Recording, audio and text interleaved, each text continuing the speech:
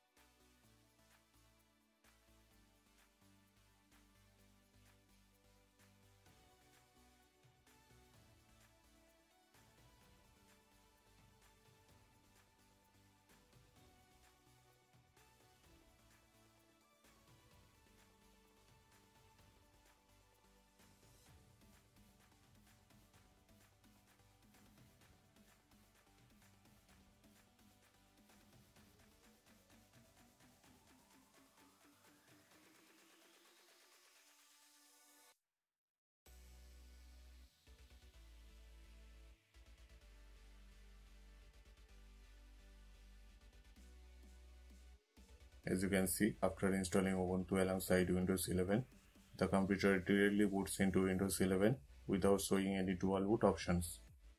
In order to fix the problem, just open the command prompt as administrator.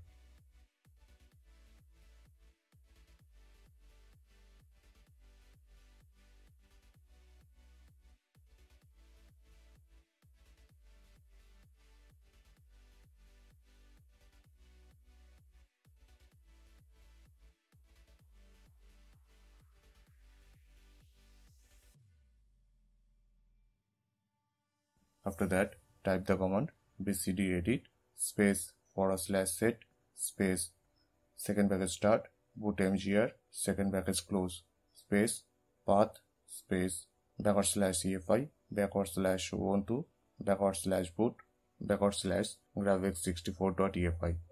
This command will help to identify the GRUB bootloader by the UEFI firmware settings. Alright, now press enter. Now you should see the message the operation completed successfully. Okay, now type exit and press enter. After that, restart your computer and go to your PC's BIOS.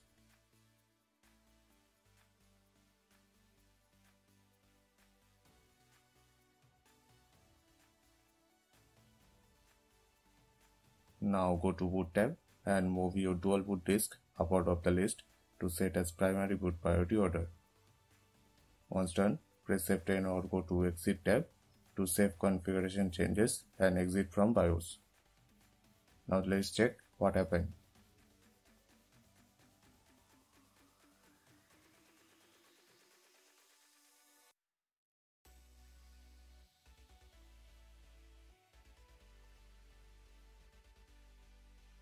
Alright, as you can see the result, our Ubuntu is successfully booted in UEFI mode.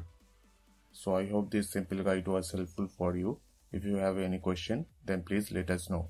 Please like, comment and share. We need your support. And guys, please don't forget to subscribe our channel. Thank you.